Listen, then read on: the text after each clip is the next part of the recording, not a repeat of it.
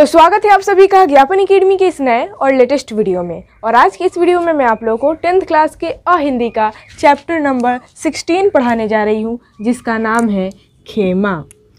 और ये जो चैप्टर है, ये बाल मजदूरी पर आधारित है। पहले के ज़माने में मतलब कई साल पहले ऐसा होता था कि बच्चों से बाल मजदूरी करवाई जाती थी। बच्चे मजदूरी किया करते थे और वो भी नहीं तो मजबूरी में, उनके पास खाने पीने के लिए पैसे नहीं थे, वो एक गरीब बच्चे थे, ठीक है? तो वो अपने आप पेट भरने के लिए या फिर उनकी कोई ऐसी मजबूरी रही होगी जिसकी वजह से वो मजदूरी किया करते थे, जिस, जिनकी उम्र नहीं थी मतलब छोटे छोटे बच्चे सात आठ साल के बच्चे नौ दस साल के बच्चे, ठीक है? तो वो जाकर मजदूरी किया करते थे तो उसी को कहा जाने लगा बाल मजदूरी। ठीक, जब बच्चे मजदूरी करते हैं तो उसको बोला जाता है बाल मजदूरी। तो आज से कई साल पहले जो है ना बाल मजदूरी की प्रथा चली थी, लेकिन अभी ऐसा नहीं है। अभी सभी बच्चे जो है ना, समान हैं और किसी से भी बाल मजदूरी नहीं। अभी जो बाल मजदूरी की प्रथा है, वो हट गई है। लेकिन पहले ऐसा था और जो बाल मजदूरी करवाता था, यानी कि मालिक बच्चों पर भी अत्याचार करता था, कैसे बच्चों का शोषण करता था, ये सारी चीज़ें आप लोग इस कहानी के माध्यम से जानेंगे कि कैसे आज से कई साल पहले बच्चों से बाल मजदूरी करवाई जाती थी और बेचारे बच्चे को मजबूरी में मजदूरी करना पड़ता था और कैसे उस बच्चे का मालिक जो है, उस बच्चे पर कैसे अत्याचार, कैसे जुर्म, जुल्म किया करता था, ये सारी चीज़ें आप लोग जानेंगे। तो देखिए, ये कहानी जो है ना इतना तो मालूम चली गया, बाल मजदूरी पर आधारित है और उसके बाद से इस चैप्टर के जो लेखक है ना, वो है पा पू वी स। पूरा नाम नहीं दिया गया। पा पू वी और स। बस, शॉर्टकट नाम दिया गया है। ठीक है तो ये है इस चैप्टर के लेखक। और ये जो लेखक हैं ये भी इस चैप्टर में है, मौजूद है। मतलब ये ऐसा लग रहा है कि ये खुद अपने मुँह से कहानी बता रहे हैं, सामने देख देख कर ठीक है? और इसमें दो किरदार हैं, एक है कसारा और एक है खुद खेमा नाम का लड़का, जिस, जिसको बाल मजदूरी करनी पड़ रही है। चलिए मैं आप लोग को पूरा कहानी समझाती हूँ, लेकिन उससे पहले एक छोटी सी रिक्वेस्ट है कि अगर आप लोग चैनल पर नए हैं तो चैनल को सब्सक्राइब ज़रूर कर लीजिएगा और सब्सक्राइब कर लेने के बाद बेलाइकन यानी कि घंटी को दबाना मत भूलिएगा। और उसके बाद से वीडियो को आप लोग को सबसे ज़्यादा शेयर करना है एंड लाइक करना है। लाइक एक ही बार होता है, एक ही बार लाइक कीजिएगा। ठीक? देखिए, कहानी कुछ इस तरह से है कि गली के नुक्कड़ पर एक बिना नाम का चालू और अस्थायी होटल था, जिसका कोई नाम नहीं था, और वो होटल में सिर्फ़ चाय बनती थी।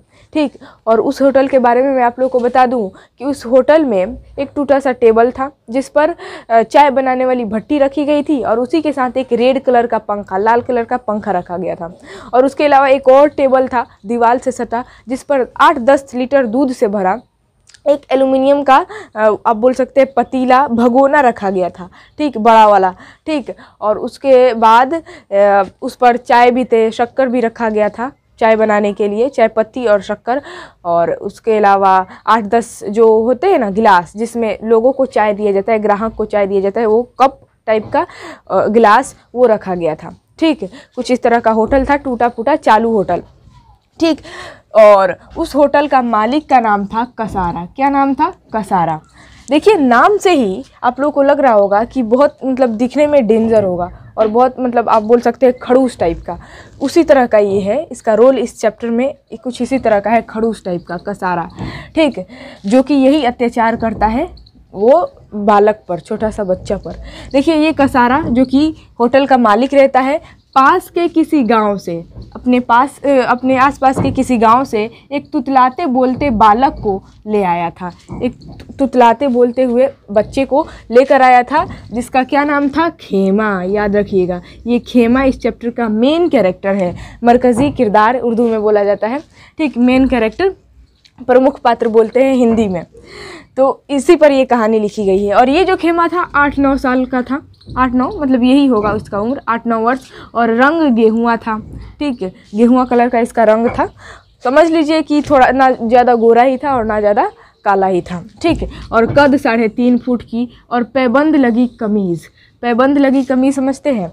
वो जब कपड़ा फट जाता है तो उस पर एक और अलग से कपड़ा लगवा दिया जाता है। पैबंद उसी को गाँव में शायद उसको पता नहीं क्या बोलते हैं, मुझे याद नहीं आ रहा है। बट कपड़ा फट जाता है, उस पर एक और कपड़ा लगाकर एक तरह से आई थिंक याद नहीं आ रहा है, उसको लगा दिया जाता है। तो पैबंद लगी कमीज़, वो पहनता था, यानी कि फटा कमीज़।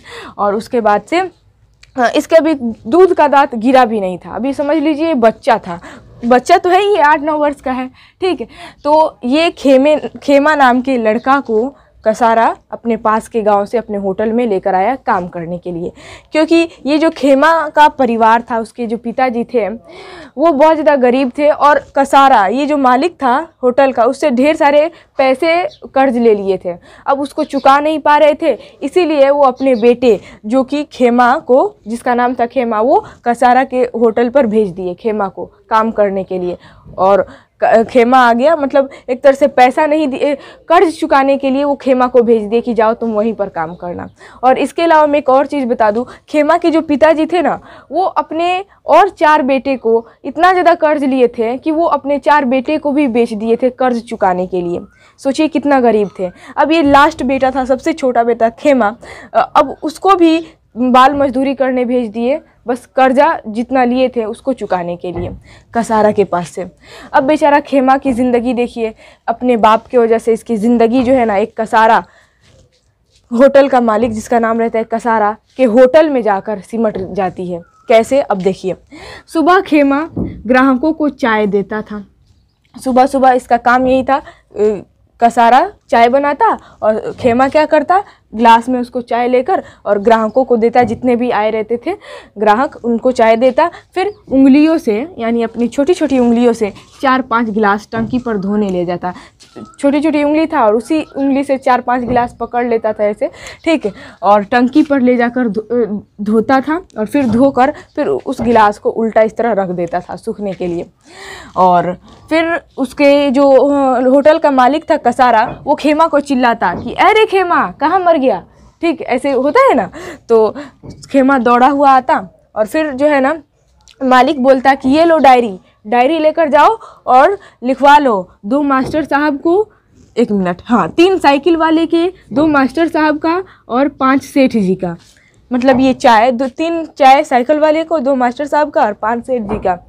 जाओ ये दे कर आओ मतलब खेमा का तो ग्राहकों को चाय पिलाना ये तो काम था, लेकिन उसके अलावा जो जो होटल का मालिक था कसारा, वो दूसरे जगह भी भेजता था। मतलब उस होटल के आसपास जितने भी साइकिल वाले थे, मास्टर साहब थे, उनके पास भी भेजता था चाय देने के लिए। ठीक? तो खेमा जो है वो डायरी लेकर तीन साइकिल वाले के दो मास्टर साहब के और पाँच सेठ जी के पास ले जाकर चाय दे दी ठीक है? और पर खेमा सोचता है कि हम आए हैं चाय देने के लिए साइकिल वाले को मास्टर साहब को और सेठ जी को तो थोड़ा घूम लेते हैं आराम से चलेंगे। आखिर जाने के बाद होटल पर मालिक जो है, कसारा सेठ जी, वो तो हमको पीटेंगे ही मतलब बोलेंगे ही, ठीक? तो ये थोड़ा आराम से मस्ती करते हुए गया मतलब आठ दस मिनट लग गया, लेट हो गया थोड़ा। तो जब जैसे ही होटल पर आया खेमा, वैसे ही ये जो मालिक था कसारा, जिसको वो सेठ जी बोलता था तो वो कसारा जो है, वो बोले ना कहाँ मर गया था रे खेमा? इतना देर लग जाता है चाय पिलाने में? तो बोला खेमा कि, नहीं, वो सेठ जी, मास्टर साहब नहीं थे। झूठ बोल दिया कि मास्टर साहब नहीं थे। साफ़ एकदम सफ़ेद झूठ बोला। मास्टर साहब नहीं थे उनको आने में देर हो गई। लेकिन खेमा जो है ना वो थोड़ा मस्ती करने लगा बाहर घूमने गया चाय देने गया था तो चाय के बहाने वो थोड़ा मस्ती किया तो उसी में लेट हो गई। लेकिन झूठ बोल दिया कि मास्टर साहब नहीं थे उनको आने में देर हो गई। ठीक और उसके अलावा खेमा के पास चप्पल भी नहीं थे, वो नंगे पैर जो है ना, खाली पैर, वो जाता था दूसरी जगह चाय देने के लिए, चाय पहुंचाता था साइकिल वाले के पास, मास्टर साहब के पास, नंगे पैर दौड़ दौड़ कर उतनी कड़ी धूप में, ठीक? तो एक दिन क्या किया खेमा, वो अपने मालिक से, कसारा से बोला चप्पल की मांग की, यानी कि वो बोला कि मैं दौड़ दौड़ कर जाता हूँ देने के लिए ना तो मेरा चप्पल मेरा पैर जो है ना, वो जलने लगता है। आप मुझे चप्पल मंगा दीजिए, ठीक है? मुझे चप्पल चाहिए। तो वो जो होटल का कसारा है, होटल का मालिक कसारा, वो बोला कि चप्पल चाहिए? दूँगा दो तीन चप्पल समझ में आ जाएगा। चल भाग यहाँ से। देखिए, इस तरह है। कितना मतलब जो है ना, ये होटल का मालिक कसारा इस खेमा पर, आप बोल सकते हैं, अत्याचार कर रहा है। ठीक है? आगे बढ़िए। अब इसी तरह इसका रोज़ का काम यही था। खेमा का रोज़ का काम यही था कि सुबह उठकर चाय देता, फिर उसके बाद से डायरी लेकर तीन साइकिल वाले की, दो मास्टर साहब की, पाँच सेठ जी की, और उसके बाद से चप्पल चप्पल नहीं पहनता था, नंगे पैर इसका पैर जल जाता था। ये सारी इसके रोज़ का काम यही था। मतलब इसकी ज़िंदगी जो है ना, कसारा के होटल में आकर सिमट गई थी। बस ये आगे और कुछ सोच ही नहीं सकता था। आगे बढ़िए, अप्रैल का महीना था। और एक चीज़ बता दूँ, ये सारा चीज़ जो है ना, लेखक खुद देख रहे थे अपने आँखों से। ठीक, आगे बढ़िए, अप्रैल का महीना था और उस वक्त आप लोग जानते हैं, अप्रैल में थोड़ी धूप जो है ना, वो गहराने लगती है, तेज़ धूप निकलने लगता है। तो जूठे गिलास धोने जाता तो पहले अपने पैर धोता था। खेमा जो है ना, वो जूठे गिलास जब ग्राहक चाय पी लेते तो ग्लास को लेकर जब वो धोने जाता था टंकी पर तो सबसे पहले अपने पैर धोता था। शायद पैर धोने पर उसको थोड़ी सी तसल्ली मिल जाती थी, ठीक थोड़ी सी राहत मिलती थी, क्योंकि उसका पैर पूरा जलता था। अप्रैल के महीने में कड़ा धूप भी होता है, ठीक है। आगे बढ़िए तो उस दिन हुआ ये कि काम निपटा कर जल्दी जल्दी कसारा जो है, वो दो रोटी, प्याज और चटनी लेकर खाने बैठा था। काम जल्दी जल्दी निपटा कर जो होटल का मालिक है कसारा, वो दो रोटी, प्याज और चटनी लेकर खाना खाने बैठा। लेकिन खेमा देख रहा था कि मालिक तो खा रहे हैं, हमको खाना नहीं दे रहे काश हमको भी दे देते, हमको भी भूख लगी है। देखिए, इसको भूख लगा था लेकिन कह नहीं रहा था अपने मालिक से और उसका मालिक खाने बैठ गया था। तो वो बेचारा चुपचाप देख रहा था खेमा कि मेरे मालिक खा रहे हैं। वो सोचा कि मुझको भी बुलाएँगे, लेकिन वो जो मालिक है वो नहीं बुलाया। ठीक, तब तक दो चार ग्राहक आ गए।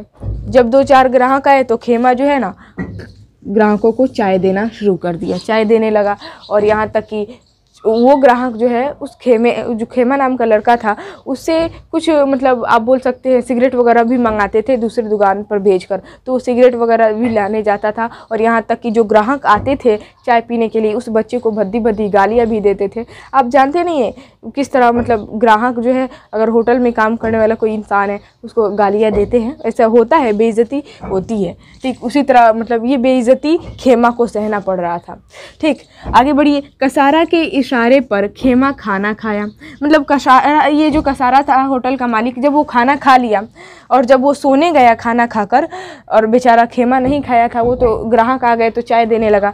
तो कसारा खाना खाकर जब वो सोने गया तो वो इशारा किया रोटी की तरफ़ कि जाओ वहाँ पर रोटी रखा है और तुम खा लो। ठीक? है तो खेमा जो है, वो खाना खाया, बैठकर शांति से और फिर वो भी सोचा कि मैं सो जाऊँ, लेकिन कसारा पहले ही सो गया था। अब कसारा का कसारा के सोते समय खेमा कैसे सो सकता था? अगर वो सो जाएगा तो ग्राहक आएँगे तो कौन देगा खाना? कौन देगा चाय? ठीक है। तो वो बैठे बैठे ही गर्म हवा सहता उतना होटल, आप जानते हैं ना, हमेशा उसमें चाय बनती रहती है और उसी में फ़ैन चलता है तो गर्म हवा भी निकलती है। तो गर्म हवा सहता उसके बाद से थकान के मारे वो बैठे बैठे ही झपकी ले लेता था। बैठे बैठे ही सो जाता था बेचारा। अब वहाँ पर कसारा, जो मालिक है वो सो गया है। अब ये खेमा जो है वो कैसे सो सकता था? वो बैठे बैठे ही झपकी ले लेता, कभी दीवार जो है इस कभी सर जो है, कभी इस दीवार से टकराती, कभी इस दीवार से टकराती। मतलब उसको एक तरह से राहत नहीं मिलती थी वहाँ पर। बहुत ज़्यादा परेशानियों का सामना करना पड़ता था। ठीक, और बहुत ज़्यादा ये सहता था। कितना सहनशील था ये। आगे बढ़िए। होटल के पास क्लिनिक होने से सुबह शाम ज़्यादा चाय बिकती थी। होटल के पास एक क्लिनिक था, जहाँ पर मरीज़ आते थे दिखाने के लिए, डॉक्टर से तरह तरह के मरीज़ आते थे, और पता नहीं तरह तरह के मरीज़ आने की वजह से जो है ना, खेमा के अंदर भी कितने बैक्टीरिया घुस गए होंगे, लेकिन खेमा जो है सब बर्दाश्त करता था। तो होटल के पास होटल के पास क्लिनिक होने से सुबह शाम ज़्यादा चाय बिकती थी, क्योंकि सुबह में ज़्यादा आते हैं मरीज़, उसके बाद से शाम में सबसे ज़्यादा आते हैं तो सुबह शाम ज़्यादा चाय बिकती थी और पंखा घुमाते हुए कसारा आवाज़ दिया। अरे खेमा यानी कि वो जो रेड कलर का पंखा था, लाल कलर का, उसको घुमाते हुए जो मालिक था होटल का कसारा, वो आवाज़ दिया खेमा को, अरे खेमा, कहाँ मर गया? तो खेमा जो था, वो पास की जनरल स्टोर पर बैठा हुआ था। वो कसारा का एक आवाज़ सुनते ही दौड़ कर खड़ा हो गया। मतलब मशीन की तरह काम करता था खेमा। एक आवाज़ सुनते ही एकदम तुरंत आ ही जाना है खेमा को, कसारा के एक आवाज़ पर। जब आया तो उसका जो मालिक है कसारा, वो बोला कि, ये क्या बर्तन तेरा बाप धोएगा? चल जाके बर्तन धो जल्दी। ठीक? अब बेचारा जो है ना, वो खेमा जाकर चुपचाप बर्तन धोने लगा और शाम होते होते बर्तन की सफ़ाई नहीं हो पाई। और जब सफ़ाई नहीं हो पाई तो सफ़ाई नहीं होने पर पिटाई भी हुई खेमा की। मतलब ये खेमा काम करता और अगर काम करने में थोड़ी देरी क्या हो जाती तो कसारा जो है होटल का मालिक उसको पिटाई भी करता था, पीटता भी था। ठीक? और दो महीने में खेमा की सारी दुनिया होटल में सिमट, सिमटी रह गई। मतलब दो महीने से काम कर रहा था ये खेमा, और इन दो महीनों में जो है ना, खेमा की सारी दुनिया, उसकी सारी ज़िंदगी जो है ना, होटल में, ये कसारा के होटल में सिमट गई थी। ठीक? है अब लग ही नहीं रहा था कि खेमा जो है उस होटल से बाहर निकल पाएगा, बाल मजदूरी से बाहर निकल पाएगा। लेकिन देखिए, रात होने से पहले खेमा सभी बर्तनों की सफ़ाई कर दी रात होने से पहले खेमा जो है ना सभी बर्तनों को धो दिया और उसके बाद से फिर कसारा और खा- कसारा और खेमा। यहाँ पर खेमा लिखना भूल गई हूँ। कसारा और खेमा जो है ना खाना खाकर सो गए। दोनों कसारा और खेमा दोनों खाना खाकर सो गए और अगले दिन फिर से वही काम। कुछ नया नहीं। फिर अगले दिन वही ए, सुबह में क्लिनिक के पास ढेर सारे मरीज़ आते और सुबह शाम ज़्यादा चाय बिकती तो वही रोज़ का धंधा यही था, खेमा का कि वो ले जाकर चाय पिलाता था और डायरी लेता, तीन साइकिल वाले के, दो मास्टर साहब के, पाँच सेठ जी के, और उसके बाद से जो ग्राहक आते, वो भी कुछ खेमा से मंगवाते थे दूसरे दूसरे दुकान पर से कुछ सिगरेट मंगाते थे, कुछ बिस्किट मंगाते थे, जाकर लाओ भाई तो ये जाकर लाता था। उसके बाद से खेमा को गालियाँ भी सहनी पड़ती थी। ये ढेर सारी थी और अ, मतलब कुछ ऐसे होते हैं ना कुछ लोग जो हमेशा होटल पर आते हैं तो उन लोगों से जान पहचान भी हो गई थी खेमा की ठीक है? तो उनको देखकर मुस्कुराता रहता था खेमा कि देखिए ये कल भी आए थे और आज भी आए हैं ठीक है? आगे बढ़िए। तो हुआ ये कि अगले दिन कुछ नया नहीं, खेमा का वही काम था कि चाय पिलाओ, फिर ले जाकर गिलास को धो, फिर चाय पिलाओ, फिर ले जाकर मतलब दूसरी जगह चाय पहुंचाओ। लेखक जो है, ये दो दिन से खेमा का जीवन क्रम देख रहे थे। ये जो लेखक है, वो दो दिन से खेमा का ये रोज़मर्रा की ज़िंदगी देख रहे थे कि वो रोज़ क्या करता है। ठीक है, अब वो क्या किए? कसारा चाय पत्ती और शक्कर लेने बाज़ार गया था ना ये जो होटल का मालिक था कसारा, चाय पत्ती और शक्कर लेने बाज़ार गया था तो लेखक जो है वो खेमा को अपने पास बुलाए। लेखक चैप्टर के लेखक जो है वो खेमा को अपने पास बुलाए। तो खेमा जो है ना, वो आप बोल सकते हैं कपड़े से, गीले कपड़े से वो टेबल को साफ़ कर रहा था तो वो छोड़कर और पहले लेखक के पास आया। तो जो लेखक है, वो खेमा से पूछे कि, क्यों जी खेमा? तुम्हारे सेठ जी कितने रुपए देते हैं महीने के? ये बात सुनकर खेमा जो है वो बोला कि वो मैं नहीं जानता मेरे बापू जानते हैं यानी कि मेरे पिताजी जानते हैं। ठीक? तो फिर लेखक पूछे तुम स्कूल जाते हो कहीं? तो फिर ये बात सुनकर खेमा चौंक उठा और बोला कि मुझे जाने मुझे पढ़ने का तो मन है लेकिन मेरे बापू मुझको पढ़ाते ही नहीं है स्कूल जाने ही नहीं देते हैं। फिर लेखक जो है वो पूछे कि क्या तुम अ, अपने सेठ जी यानी कि इस होटल का जो मालिक है कसारा उनके पास खुश हो? ये सवाल पूछे कि क्या तुम उनके साथ रहकर खुश हो? तो ये बात सुनकर खेमा कुछ नहीं बोला। उसका मतलब वो चुप रहा। इससे मालूम ये चला कि वो खुश नहीं था। लेखक को पता चल गया कि वो खुश नहीं था, खेमा। तो फिर वो बोला लेखक बोले कि क्या तुम मेरे साथ चलोगे? तो फिर खेमा जो है वो पूछा कि क्या? काम करने के लिए। काम करना पड़ेगा। ये बात सुनकर जो है ना, लेखक मतलब थोड़ा सा उनकी मतलब आप बोल सकते हैं भावुक हो गए। कि सोचो, ये बच्चा जो है इस, इसके साथ इतना ज़्यादा अत्याचार किया है कि मैं इसको लेकर भी जाना चाहता हूँ तो ये सोच रहा है कि मैं इसको काम करवाने के लिए लेकर जा रहा हूँ। तो लेखक बोले, नहीं, काम करना नहीं पड़ेगा। तुम मेरे साथ रहना, स्कूल जाना, पढ़ाई करना। बस इतना ही। ठीक तो ये बात सुनकर जो है ना, खेमे के चेहरे पर मतलब एक तरह से प्रसन्नता आ गई, खुशी दिखाई दी, खुशी झलकने लगी। वो बहुत ज़्यादा खुश था कि चलो, ये जो है, मेरे को अपने साथ लेकर जाएँगे और मैं पढ़ाई करूँगा स्कूल में। ठीक? और उसके बाद से जो है ना, इस चैप्टर के लेखक, वो खेमा के जो परिवार वाले थे, इनके जो पिताजी, माताजी थे, उनका पता लगाने की कोशिश किए और खेमा के गाँव गए। जहाँ पर इनके पिताजी रहते थे, खेमा का पिताजी रहते थे तो वहाँ पर गए तो देखे कि खेमा का घर है और उसके सामने एक मतलब टूटी फूटी आप बोल सकते हैं, खटिया खटिया पर खेमा के पिताजी बैठे हुए हैं। तो लेखक खेमा के पिताजी के पास गए। खेमा के जो पिताजी है, वो खटिया पर से उठ खड़ा हुए और बोले कि, आप? तो लेखक जो है, वो बोले कि, जी, मैं मैं खेमा को जानता हूँ। तो फिर खेमा के जो पिताजी है, वो बोले कि, खेमा, वो एक होटल में है साहब, जहाँ पर वो काम करता है। तो लेखक बोले कि जी, मैं जानता हूँ कि वो एक होटल में काम करता है, इसीलिए तो मैं यहाँ आया हूँ उसको लेने के लिए। मैं उसको पढ़ाना चाहता हूँ, उसको पढ़ाकर कुछ अच्छा और काबिल इंसान बनाना चाहता हूँ, ठीक है? तो ये बात सुनकर खेमा के पिताजी की आँखों में आँसू भर आई मतलब उनके मतलब खुशी से उन, खुशी से फूले नहीं जा रहे थे वो। मतलब उनको लग रहा था कि चलो मेरा बेटा कामयाब हो जाएगा, कोई इंसान आया है मेरे बेटे को लेने के लिए। तो वो बोला खेमा के जो पिताजी है, वो बोले कि लेकिन उससे पहले मुझे कसारा को जितने भी कर्ज लिए हैं, वो पैसा चुकाना होगा। तो फिर लेखक बोले कि, कोई दिक्कत नहीं है, मैं पैसे का इंतज़ाम कर दूँगा और आप क्या कीजिएगा, कसारा को ले जाकर जितने भी कर्ज आप लिए हैं, वो दे दीजिएगा। ठीक तो फिर क्या हुआ, लेखक जो थे, वो पैसा इंतज़ाम किए और फिर कस, वो खेमा के पिताजी को दिए और खेमा के पिताजी जो है वो कसारा से जाकर बात किया पैसे दिया और उसके बाद से आधे घंटे तक खेमा को लेखक अपने पास लेकर बैठे थे और जब बात हो गई कसारा मान गया जान ले जाने देने के लिए होटल से तो फिर उसके बाद से लेखक खेमा को अब अपने साथ लेकर जाने लगे। और उसके बाद से जब लेकर जा रहे थे ना लेखक खेमा को अपने साथ तो खेमा की चाल ही बदल गई थी। ऐसे लग रहा था कि जैसे कि एक पक्षी जो है, वो अपने पिंजड़े से आज़ाद हो गई है। ठीक, इस तरह चल रहा था खेमा। ऐसा लग रहा था कि वो एकदम आज़ाद हो गया अभी अभी अभी आज़ाद हुआ है। ठीक, और सच में वो अभी अभी आज़ाद हुआ था बाल मजदूरी से। और उसके बाद से लेखक जो है, वो खेमा को अपने घर लेकर गए। पहले खुद नहाए, फिर बोले खेमा से नहाने के लिए। खेमा नहाया, दोनों साथ में बैठकर खाना खाए और उसके बाद से लेखक भी चले गए सोने और खेमा को भी बोलिए कि तुम भी जाओ सोने। ठीक? तो लेखक जाकर सोए हुए थे।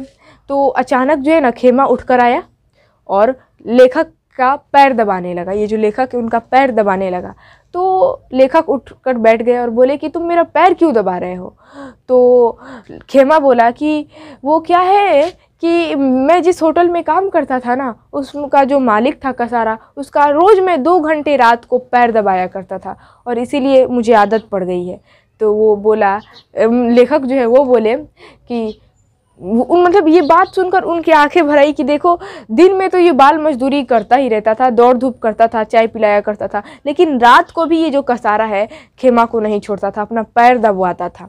ठीक तो लेखक जो है वो खेमा को बोले कि कोई दिक्कत नहीं है। अब तुम आज़ाद हो, अब तुम मेरे साथ रहना, आराम से पढ़ना, अब कोई टेंशन नहीं है। तुम अभी जाकर सो जाओ, कल तुम्हें स्कूल जाना है। ठीक, तुम जाओ, सो जाओ। तो खेमा जो है, वो सोने चला गया, लेकिन वो कच्ची नींद में सोया था और वो नींद में ही बड़बड़ा रहा था।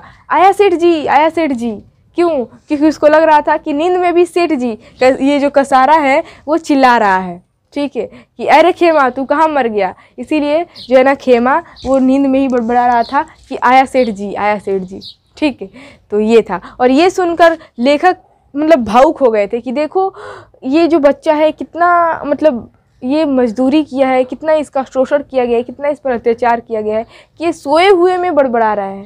ठीक है? तो ये सारी चीज़ें थी और ये सोच रहे थे कि पता नहीं ये खेमा की तरह और भी कितने बच्चे हैं जो कि बाल मजदूरी किया करते हैं। ठीक? तो इस तरह जो है ना, खेमा एक होटल और एक बाल मजदूरी की ज़िंदगी से निकलकर एक लेखक अच्छे ज़िंदगी में प्रवेश किया, अच्छे, आप बोल सकते हैं, परिवार में प्रवेश किया और उसकी ज़िंदगी बदल गई। जो खेमा की ज़िंदगी सिर्फ़ होटल में सिमट कर रह गई थी, उसको लेखक निकाल कर और अपनी ज़िंदगी में लेकर आए, अपने घर लेकर आए और फिर खेमा को पढ़ाना, लिखाना शुरू किए। ठीक तो यहीं पर जो है आप लोगों का ये चैप्टर और ये कहानी कंप्लीट होता है। कोई भी कंफ्यूज़न हो इससे रिलेटेड आप हमें कमेंट कर कर पूछ सकते हैं। बाकी मैं आप लोग को जो कुछ भी समझाई, समझ में आए तो वीडियो को लाइक शेयर वगैरह सब्सक्राइब कर लीजिएगा। सब्सक्राइब कर लेने के बाद ऑल का ऑप्शन क्लिक कर लीजिएगा। उससे होगा ये कि मेरी रोज़ आने वाली ऑल वीडियो का ऑल नोटिफिकेशन आप तक सबसे पहले पहुँचेगा। ठीक तो फिर मिलेंगे नेक्स्ट वीडियो में नेक्स्ट टॉपिक के साथ। तब तक के लिए जय हिंद और खुदा हाफिज़।